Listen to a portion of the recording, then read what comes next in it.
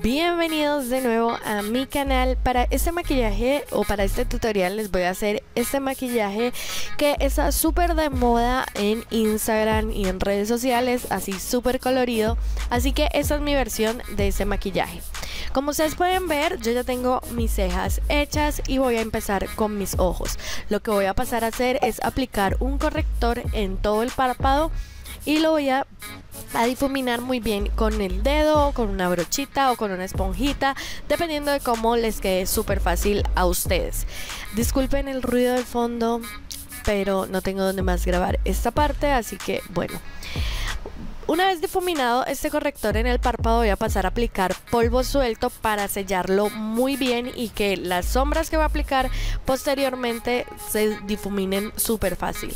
Voy a estar usando esta paleta de Atenea que me costó súper económica, vale 10 mil pesos y voy a tomar este tono morado y lo voy a aplicar como tono de transición. Vamos a aplicar las capas que creamos necesarias hasta que logremos la intensidad que nos guste. Yo apliqué unas 3 o 4 capitas porque eh, sí, este color es un poquito difícil de aplicar y de posicionar. Ahora voy a tomar este tono rosita y con este voy a difuminar un poquito más lo que es eh, la parte de arriba para que no se vean líneas bruscas y también para que se vea un degradé súper bonito entre estos dos tonos o estos dos colores. Es importante que no apretes mucho la brocha contra tu ojo. Ahora voy a tomar este tono azul para darle un poquito más de profundidad porque no me gustó tanto como el tono morado como se aplicó, así que voy a aplicarlo justo encima el tono azul. De igual forma lo voy a estar aplicando con una brochita para difuminar y súper súper suavecito para que se posicione súper bien. Aquí lo que voy a pasar a hacer es limpiar mi párpado y eso se llama eh, cuenca partida o cut crease como ustedes le quieran decir. Entonces lo voy a estar eh, limpiando con el mismo corrector que usé al inicio y es súper fácil, tómense su tiempo, tengan mucha paciencia para que les quede bonito. Aquí les digo que no necesitan que les quede perfecto, pero si ustedes lo quieren hacer perfecto no hay ningún problema. Una vez tengamos ya limpio eh, nuestro párpado, vamos a tomar de nuevo la sombrita azul y vamos a aplicarla justo en el en la línea que queda entre el corrector y las otras sombras para darle un poquito más de profundidad y que se vea mucho más bonito. No se preocupen, esto eh, no va a quedar tan mal y están haciendo mucho ruido los carros. Pero bueno, ahora voy a tomar la sombra amarilla y lo voy a aplicar en la zona del lagrimal como tres partes del párpado móvil. Es justo encima donde aplicamos el corrector, de donde limpiamos y eso.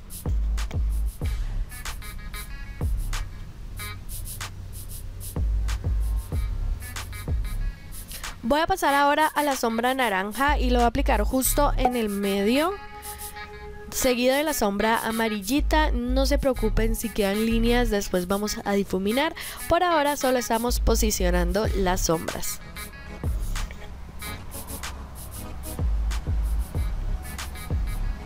Ahora voy a tomar una sombra verde y la voy a aplicar justo en la parte que falta por aplicar sombras y como les digo no se preocupen ahora vamos a difuminar todo para que se vea mucho más bonito.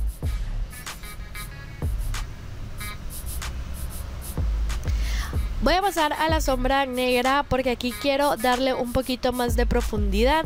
Así que lo que hice fue aplicarlo en el canto externo como en la V eh, externa para darle un poquito de profundidad a este maquillaje. Aquí solo estoy posicionando las sombras y voy a pasar con la misma brochita que estaba usando al inicio y voy a difuminar todo muy bien para que se mezclen los colores.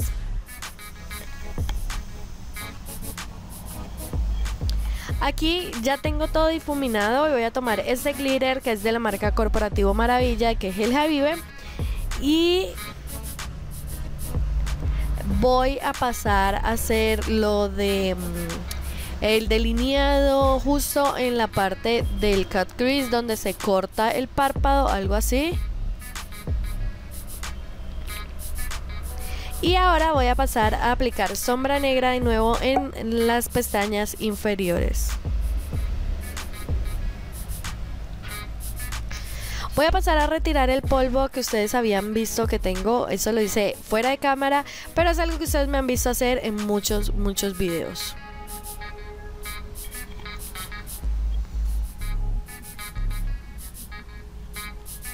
Voy a difuminar todo muy bien y voy a terminar de hacer mi rostro. Aquí ya lo que me falta es hacer contornos y lo estoy haciendo con esta sombra de Sami que me encanta muchísimo. Voy a terminar por fuera de cámara de aplicar rubor, eh, iluminador, labial y todo eso lo que me falta, pestañina y pestañas postizas. Y así es como queda este maquillaje. Espero les haya gustado muchísimo. No olviden suscribirse a mi canal y nos vemos en el próximo video. Déjenme por favor en los comentarios si te gustó y qué nuevos videos quieres ver para la próxima semana. Bye.